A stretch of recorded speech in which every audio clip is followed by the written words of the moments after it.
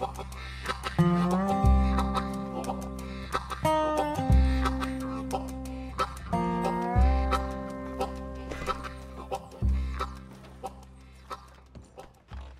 there.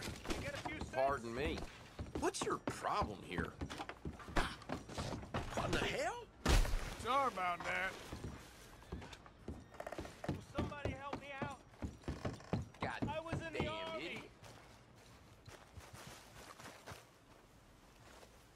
I'm only joking with you.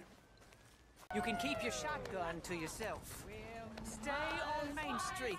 Uh, it's a left up here, Mr. Morgan. Look at these people. It's about to get exciting. I can feel it. I believe you might be right.